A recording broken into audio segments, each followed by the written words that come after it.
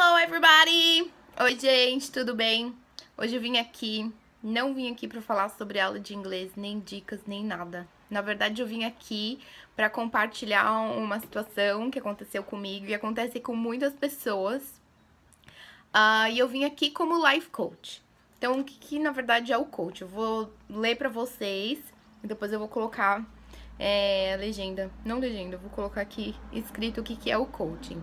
Então, na verdade, o coaching, ele é um processo para o desenvolvimento de pessoas, grupos ou organizações que visa levar o cliente a definir objetivos, planejá-los uh, e se preparar para os desafios e conquistar resultados de forma consistente e duradoura. Então, na verdade, o coaching ele é um processo.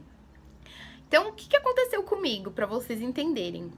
Uh, quando eu me mudei para os Estados Unidos, que era uma coisa que eu sempre queria, sempre quis, todo mundo que foi meu aluno, eu brincava na aula, eu falava, ah, vou casar com americano, um dia eu vou morar nos Estados Unidos. Então, eu sempre quis voltar para cá, porque quando eu fiz intercâmbio, eu adorei aqui. Eu falava, ah, que legal, nossa, queria viver numa cidade pequena, né? Sair de São Paulo, aquela coisa. Enfim, então me mudei pra cá em agosto do ano passado. E, nossa, aquela coisa, comecei a arrumar casa. Eu não podia trabalhar durante seis meses, eu tive que esperar o meu work permit, que é a permissão para trabalhar, é um cartão que vem é, no correio, né? A gente aplica para esse cartão, então tive que ficar esperando seis meses até essa, esse cartão, esse documento, né, chegar. Enfim, então tava lá, é, eu estava dando algumas aulas online, também tinha alguns clientes de coaching. Uh, não podia trabalhar aqui, mas eu dei algumas aulas online é, para o pessoal aí do Brasil. E no meus, nos meus tempos livres, quem me conhece sabe que eu não gosto de assistir televisão. Então, para eu relaxar, eu ficava no Facebook olhando lá o que estava acontecendo. Enfim. E aí eu comecei a perceber que eu tava. Eu não tava vivendo aqui, eu tava pensando, nossa, que legal. Né? Tava no começo do verão no Brasil, começando o inverno aqui nos Estados Unidos, eu de pijama de frio, o pessoal indo pra praia aí no Brasil, e eu assim, nossa, queria tanto estar na praia, queria tanto, hum, que saudade dos meus amigos, ai, que delícia, eu queria tanto estar no Brasil. E comecei a ficar meio lelé, né?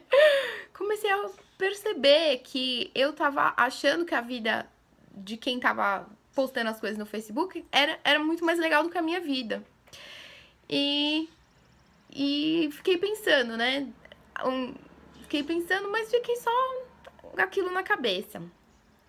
Quando eu comecei a dar aula esse semestre, eu comecei a conversar com outras pessoas aqui, né, também nos Estados Unidos.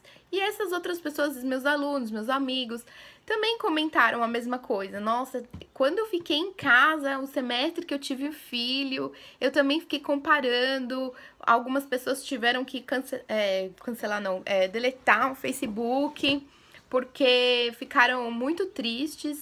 Uh, queriam estar tá no lugar daquelas outras pessoas, mas elas também não conseguiam estar tá presentes no momento para cuidar dos fi do filho, né, que teve. Teve um caso de uma aluna minha que ficou meio com depressão após parto, vendo todo mundo no Facebook se divertindo e ela lá trancada. Então, é, só para vocês terem uma noção, não é isso não é normal. Se você tá sentindo isso, não é normal. Então, o que, que eu parei para pensar? Pra sair também, porque eu, eu ficava vendo vários vídeos no YouTube, inclusive de uma moça, e eu falava, nossa, ela é muito inteligente, olha quanta coisa que ela tem para passar no YouTube, eu nunca vou conseguir. Eu nunca vou conseguir fazer vídeo no YouTube como ela faz. Eu nunca vou conseguir é, ter não sei quantos inscritos como ela tem. Então comecei a me comparar uma pessoa que tem uma missão completamente diferente de mim. E aí foi quando eu, né, eu aplico coaching em tantas pessoas, dou coaching para tantas pessoas, e aí em mim mesmo eu falei, não, pera um minuto, deixa eu parar pra pensar aqui o negócio. Qual é a minha missão? Então, minha missão é estar aqui, ser casada, né, casada com o Daniel, ajudá-lo, ajudar as pessoas que estão aqui nos Estados Unidos. Tem muita gente que precisa de ajuda, não é só aqui no Brasil, em todos os lugares. Não é porque os Estados Unidos, todo mundo, tem muita gente que fala que é, ai, o lugar perfeito para se morar, que as pessoas não têm problemas, as pessoas têm muitos problemas. Então, é, qual é a minha missão aqui com as pessoas? Ao redor, né? E aí eu comecei a parar pra pensar. Falei, não, peraí, eu tenho uma missão. Essa pessoa que tá no YouTube fazendo esses outros vídeos tem outra missão. E foi quando Deus falou pra mim, não, vai fazer esse vídeo pra talvez você consiga ajudar outras pessoas que estejam na mesma situação que você.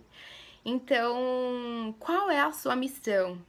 Isso vocês não podem tirar o foco, não podem sair do foco. Ah, não, não, não quero a missão dela. Não adianta, você nunca vai ter a missão de uma outra pessoa. Porque você tem a missão com seus pais, você tem a missão com seus irmãos, você tem a missão com seu marido, seu esposo, sua esposa, tem a missão é, no seu trabalho. Então, cada pessoa tem várias missões com pessoas diferentes. Então, se a gente começar a comparar com o outro, com a missão do outro e achar que a missão dele é mais legal do que a minha, a gente nunca vai cumprir a nossa missão. Então, essa é a mensagem que eu queria deixar para vocês. Tomem cuidado com a social media, que é, não sei se é mídia so social que a gente fala, mas tomem cuidado com o Facebook, com o Instagram. É, tomem cuidado com. Vigiem o pensamento de vocês, tomem cuidado com aquilo que vocês estão pensando. Será que está alinhado de verdade com a missão de vocês? E sejam gratos todos os dias, todos os dias. Sejam gratos por aquilo que pela missão que vocês têm, pela vida que vocês têm, porque muitas vezes a gente está vivendo a nossa vida to the fullest, a gente está vivendo a nossa vida ao máximo. E outras pessoas no Facebook estão olhando para nossa vida, né? Inclusive, foi quando uma das minhas amigas comentou no Facebook comigo. Beijo, amiga, você sabe quem você é. E ela que me fez despertar e acordar. É... Porque eu tava achando que a vida de todo mundo era mais legal. Ela, nossa, essa, a vida dessa pessoa é muito legal. Olha, ela, ela faz isso, não sei. Ela faz, sei lá, manda de moto. sei lá, ela faz isso, faz aquilo. Então eu tava achando que a vida da outra pessoa era muito mais legal do que a minha. E aí, essa minha amiga comentou assim: Nossa, como eu te admiro. Eu te admiro porque você sabe viver sua vida. E aí, foi quando despertou na minha cabeça, foi aquele clique, né? Sempre tem aquela coisa. Foi quando despertou: Meu, outra pessoa tá achando que a minha vida é legal. E eu tô achando que a vida da outra é legal.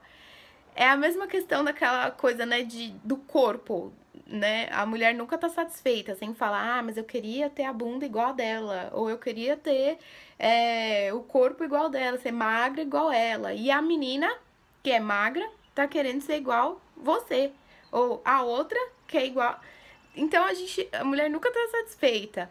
Então isso também é muito importante, a gente olhar para nós mesmos e sermos gratos por aquilo que a gente tem hoje e a nossa missão hoje, nós temos que ser pessoas apaixonadas pela nossa missão.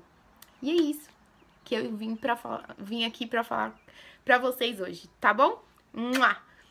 Dá um like pra teacher, pra life coach, dá, um like pra, dá um like pra mim e se inscreve no nosso canal, que eu e o Daniel a gente tá fazendo alguns vídeos também e eu vou fazer alguns vídeos de coaching para colocar no nosso canal também. I love you guys! Bye!